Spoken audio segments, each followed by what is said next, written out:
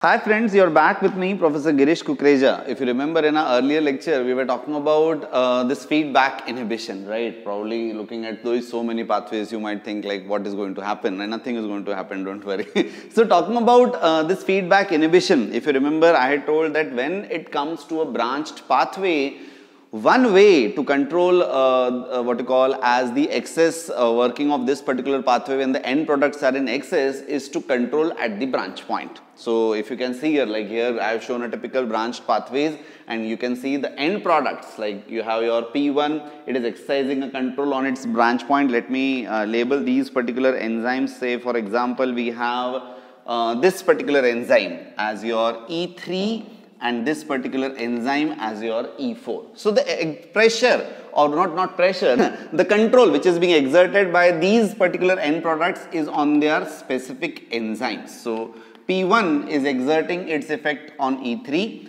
P2 is exerting its effect on E4. So in each of the cases you will find that they are exerting the control on their branch points, right? Probably you will not understand this video if you have not seen the earlier one.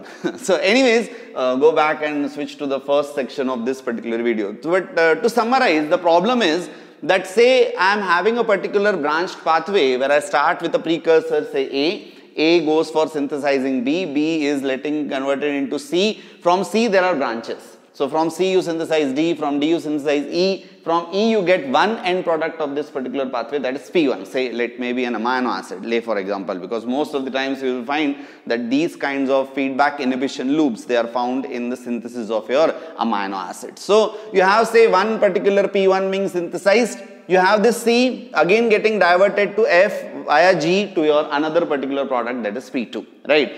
The problem was that if I want to turn of this particular pathway. The problem was that if I want to turn off this particular pathway, I have to like switch over this and I told that if P1 is in excess and if I turn off this particular part, it will hamper the synthesis of P2. If P2 is in excess and I turn off this particular part, it will hamper the synthesis of P1. So the control point which I want is that the pathway should be halted when P1 and P2 both are in excess and the pathway should continue when either of the one is in less amount than it was decided by the cell which we call as the threshold. If P1 and P2 both are above their threshold values, I want to stop this particular pathway. This is the crux. For this, the cell, it utilizes different strategies. So today we'll be talking about the different strategies to control the synthesis of this C Rather, to stop the synthesis of this C when we have an excess amount of both P1 as well as P2. One of the ways the cell does this is by this particular mechanism which we call as the concerted feedback inhibition, also referred to as the nested feedback inhibition. In concerted feedback inhibition, this particular first enzyme of the pathway, which we call as the E1, it won't be affected by excess of your P1 alone. It also won't be affected by the excess of your P2 alone. Now say for example, if A is getting converted to B, B is getting converted to C, from C there is a branch point, P1 is being synthesized, P2 is being synthesized, right? Now I have an excess of P1, this P1 will go and inhibit E3. At the same time, this E1 will have a site where this P1 can bind. Binding of your P1 on this particular enzyme E1 does not affect the enzyme at all, right? If the reverse thing happens, say for example, in another particular situation, say P2 is in excess and this P2 goes and bind E1. E1 has site for binding both, right? So if P2 goes and binds E1 alone in the absence of P1, the what you call as activity of E1 won't be affected, right? But now say for example, I have a situation where both are in excess. Now I have P1 as well as P2 both in excess. Now when these both are in excess, they go and now bind to this particular E1, the activity of this enzyme will be halted. This is what I exactly wanted. I wanted this particular enzyme to get halted when I have excess amounts of both P1 as well as P2. But I'll say that this is a bit imprecise kind of a control. Because what happens is, if I have P1 is in, in excess, this particular pathway is not affected at all. Probably if it, would have reduced to a particular extent, that would be a more fine-tuned metabolic control. But here, synthesis of any one in excess does not affect this particular pathway at all. If both are in excess, I have P1 in excess, I have P2 in excess, they both go and have this particular control on this particular enzyme and they stop this particular enzyme. You will find this kind of control in uh, synthesis of threonine and lysine by Bacillus polymyxa, right. Uh, so Bacillus polymyxa when it is synthesizing threonine and lysine, when both the amino acids they are in excess, they will go and inhibit the first enzyme of this particular pathway right. So, this is your concerted feedback inhibition. At least you achieve that when both the products are in excess, this particular pathway be halted. When any one of these now is lowered, like you consume one of them, like if the cell consumes P1 or cell is devoid of this P2, then this inhibition will be relieved and the pathway will again go in that fashion right. So, this is what is called as your concerted feedback inhibition a more uh, what you call as um, fine-tuned metabolic kind of a control which you can see is observed in this particular feedback inhibition which we call as the cumulative feedback inhibition. In this cumulative feedback inhibition, now as I told you, I have uh, binding sites for both. This E1, it has binding sites for both. It has binding sites for P1, it also has this binding site for P2. Now, but in this case, what is going to happen? P1 if it goes and binds to this particular enzyme E1, it will inhibit the enzyme in one particular percentage. Say for example, 40% of the activity will be reduced. So what will happen is, you are going from A to B to C, you are going to P1, you are also going to P2. Now I have a situation where P1 is in excess, P1 goes and stops the uh, what you call as action of E3, P1 also goes and inhibits E1 to some extent. So that now you have this particular pathway operating at a lesser rate because now C is to be directed only to P2 and not towards the P1. So all your C would be directed to P2. Now you will achieve a point where P2 would be also in excess. It will also be synthesized more than the threshold value. So this P2, it will also go and inhibit this particular enzyme say it also inhibits say around uh, 40 50 percent say for example. Now when both are present on the surface of this particular enzyme e1 you will find the effect is somewhat additive of both these products. Now your enzyme would be around 80 90 percent totally inhibited in the presence of both the end products your p1 and p2 you can find this like in regulation of glutamine synthetase. When both the end products are in excess, they go and inhibit the enzyme to a greater extent. When any one of the products is in excess, there is some percentage kind of uh, what you call as decrease in the efficiency of the working of this particular enzyme. So I'll say that this is more fine-tuned control of the metabolism. Because if I have one in excess, I reduce it to a particular extent. If I have this one as extent, I reduce this in a particular extent. But if I have both of them in excess, I completely stop this particular pathway. And this is what I actually wanted while controlling this particular uh, kind of uh, uh, what you call as a branched pathway. Another way which this can be done, a more uh, what you call as a simplified way you can say is what is called as a sequential feedback inhibition.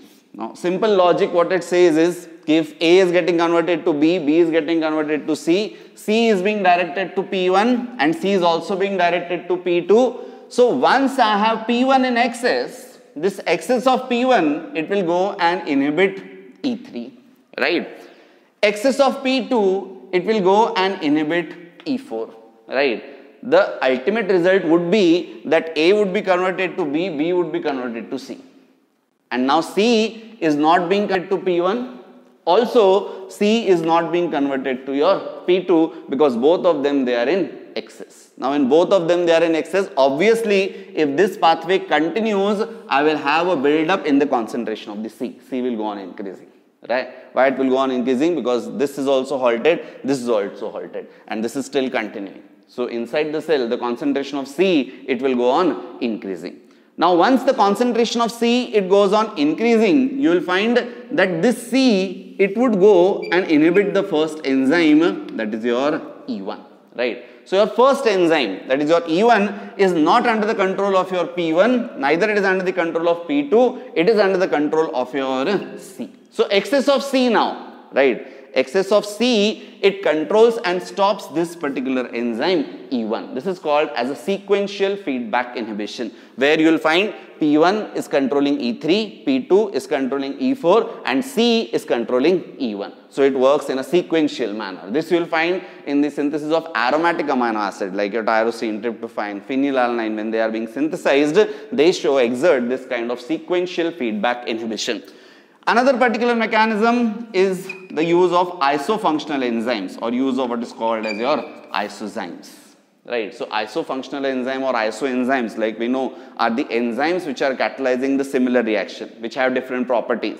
Now here for conversion of A to B in this particular case you will have two enzymes, two isoenzymes forms you can say. Now you will have two enzymes like I have one particular enzyme say E1 and I'll have another particular enzyme say E1 prime. Now there are two enzymes which are actually converting my A into B. So when P1 will be in excess, as it always does, it will go and inhibit E3. This P1, it will go and inhibit one of the isoenzymes of this. Say in this case it inhibits E1. So P1 in excess will stop E3. It will also stop E1. Now A was converted to B by both of these isoenzyme forms. So even if P1 goes and stops E1, it is E1 prime which is actually still converting your A into B, probably now at a lesser rate, right? So now at a lesser rate, right, your A is being converted to B and B is being converted to C and this is being directed to P2. Now P2 would be in excess. Now once you have an excess amount of P2, this will go and inhibit E4 and P2, it exerts its control over E1. P2 it exerts its control over E1 prime. Now P2 it will go and inhibit this E1 prime and now this entire pathway would be halted. Right? How it would be halted? Because you have both of these particular isoenzyme forms which are inhibited. So you have two particular enzyme forms right? You have E1 and you have E1 prime. And both of them they are being inhibited. Any one particular enzyme in excess it will inhibit one of them. Right this particular product, it will inhibit one of it. And ultimately, when both are in excess, this entire conversion will be halted, right? This also you will find in synthesis of your uh, methionine, in, uh, lysine, uh, uh, from uh, what you call as your aspartate, right? So this particular isoenzyme or isofunctional enzyme you will find in uh, such particular mechanisms. So these are four basic ways in which a particular feedback inhibition it could be exerted. To just summarize, in a concerted feedback inhibition, both the end products, individual product will not have any effect. When both are in excess, they will go and stop the enzyme. In cumulative feedback inhibition, each end product will have some effect, but when both are bound, the total effect would be more. In the sequential feedback inhibition, these products, they do not exert any control on the first part of this particular pathway, but the branch point, this metabolite, it exerts its effect on the first enzyme. And in isoenzymes, we have two isoenzyme forms where two end products, they show their effect on these different isoenzyme form controlling the metabolism sometimes uh, I get mesmerized that how cell can what you call as regulate a metabolism in such a complicated way, right? So cells are really uh, very intelligent in regulating the metabolism and controlling the biosynthetic pathway so that the energy is not wasted and it is utilized in a proper manner. Let us also learn from these particular cells and also utilize our energy in a proper manner and whatever is in excess, let us stop that. And whatever has gone below threshold, let us start synthesizing that. So thank you so much. Stay tuned with me. Professor Girish Kukreja for more in enzymology and microbiology.